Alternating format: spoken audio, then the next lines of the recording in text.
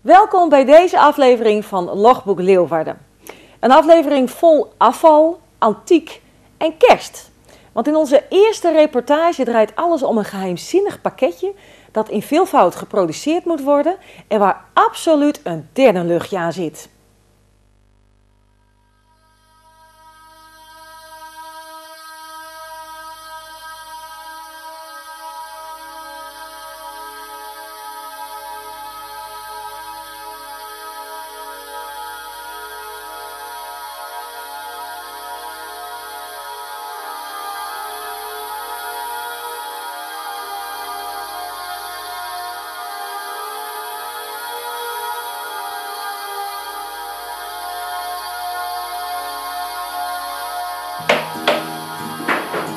Sinterklaas is nog maar koud het land uit of alle neuzen richten zich alweer op kerstmis.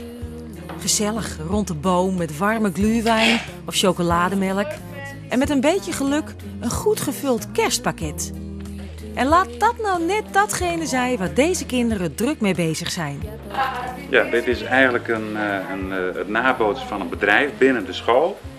Al deze kinderen die, eh, hebben een specifieke taak, want we zijn hier bezig met het eh, maken van een kerstpakket en dat is een hele klus. Want alles moet 625 keer. En we hebben als thema spel en dat hebben we met elkaar bedacht. En het is natuurlijk een grote verrassing wat er allemaal in komt. Ja, dat is het inderdaad voor alle medewerkers van Pieter Jelles die zo'n kerstpakket krijgen. Het pakket is door de kinderen zelf bedacht en in elkaar gezet. Leuk om te doen, maar ook leerzaam. Dus het is een leerproject voor eh, deze kinderen. Ze zitten ook de hele dag in dit lokaal of in dit, deze bedrijfshal, hè, zoals wij dat noemen. Nou, je hoort het al. En eh, dat is ook eh, wat ze moeten leren om één hele dag ergens mee bezig te zijn. Niet twee uurtjes, maar een hele dag. Een hele dag tussen de kerstspullen. Je kan het slechter treffen. De kinderen leren op deze manier hoe zo'n productieproces in elkaar zit. Het inpakken, hè, hoe pak je iets in, daar hebben die kinderen dus heel erg bij betrokken. En daar zitten een aantal ware talenten uh, tussen. Uh, April is een, een uh, die heb je waarschijnlijk ook al gefilmd. Hè? Die, die, die, komt dan met een voorstel van, hey, kunnen we dat niet zo inpakken, want dat is leuker. Hè? En dan gaan we dat gewoon met, met z'n tweeën of met z'n drieën bekijken. En dan gaan we het gewoon zo uh, doen. Hè? Gaan we dat doen. En uh, nou, deze heren, die, die inpaklijn, daar hebben ze ook zelf uh, door vallen en opstaan, word je wijzer zeg je dan. eerst ging dat niet zo goed. Dan stonden we elkaar in de weg en nu hebben ze gewoon het, het systeem ontdekt en uitgevonden en samen met elkaar hebben dat zo, nou je ziet het, het loopt als een trein. Pieter Jelles de Brege is praktijkonderwijs. Dus leren vanuit de praktijk. Maar ze zijn niet het hele jaar bezig met kerstpakketten. Uit het bedrijfsleven komen ook andere opdrachten. En een van die opdrachten, dat was, uh, dat weten de kinderen ook nog wel, het inpakken van sneeuw voor een bedrijf. Ja, dan kregen we grote dozen met sneeuw. Dan kregen we een trechter en dat moest gedoseerd worden in een bepaalde hoeveelheid. Moest in plastic zakken dichtgesield worden en dat werd dan weer in een doos gedaan. En dat komt dan op de pallet en dat werd dan één keer in de week weer opgehaald door dat bedrijf. Is iedereen door deze opdracht al lekker in de kerststemming? Nou, de kerstboom, zoals je ziet, uh, hebben we vanmorgen alleen maar opgetuigd. Dus, uh, maar ja, ik ben altijd in kerstfeer. Dat mijn naam heb ik mee wat dat betreft.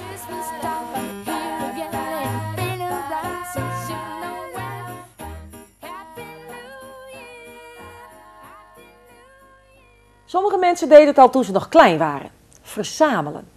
Sigarenbandjes, uh, suikerzakjes, postzegels, nou ja, noem het maar op. Later, als ze groter werden, gingen ze vaak andere dingen verzamelen. Antieke kastjes, schilderijen, porselein. Je kan natuurlijk op rommelmarkten en op internet hele mooie dingen vinden om te verzamelen. Maar je kunt ook naar een veiling toe. Hoe gaat dat er nou eigenlijk aan toe op zo'n veiling?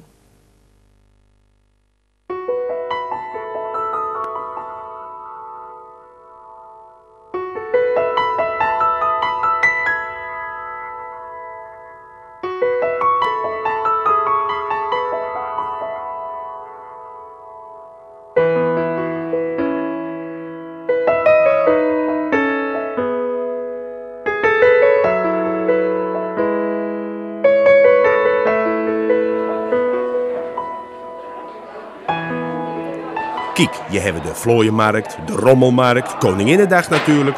Maar de hogeschool van Sneupen voor de rasechte verzamelaar, dat is de veiling. En Tom Bakker, hier in het midden, flankeert dus zijn dochter Ria en zwager Ferry, is zijn ras-echte verzamelaar. Deze jong kerel van dik in de tachtig struint nog regelmatig veilingen af op zoek naar mooi spul. Meestal binnen het voorwerpen die wat meer waarde hebben dan wat je zo al op een rommelmarkt aantreffen, maar ook voor veiling goed geld wat de gek er maar voor geeft.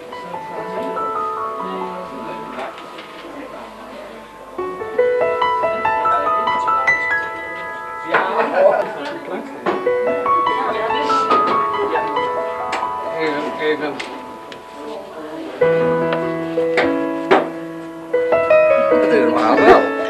Ja, ja. Het is normaal wel. Ja, Ja. Een veiling kent twee delen.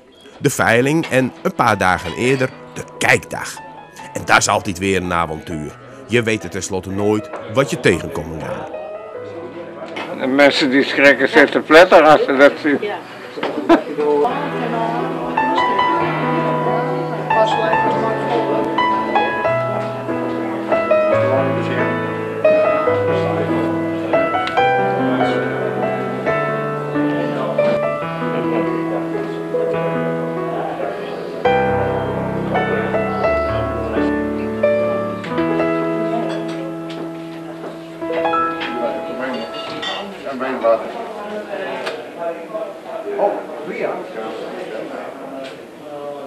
En dan is het veiling. Voor een antieke vaas ingezet op 60 euro. 60 euro. Een vaas 60 euro. 25 en 50, wat 44, 20 ben zeker. 5 keer. Als je één kop, euro 22, 30 jaar. Ingezet op 50 euro. 50 euro. 50 euro.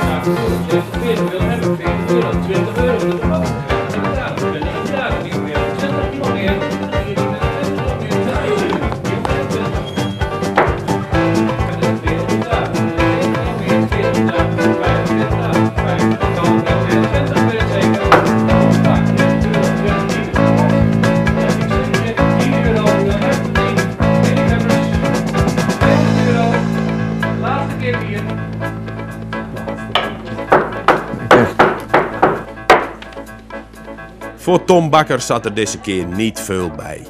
Zijn verzamelonderwerpen, oranje keramiek en zilver, waren deze keer nauwelijks vertegenwoordigd. Maar dat ken, dat komt voor. Na afloop van de veiling kan er afrekend worden.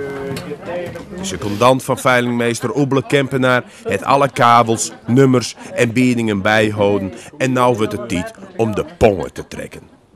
Contant graag. En ook hier weer een heerlijke eenvoud. Geen poppetje achter een computer, nee, een man met briefjes en een pen. En een vrouw met een geldkist.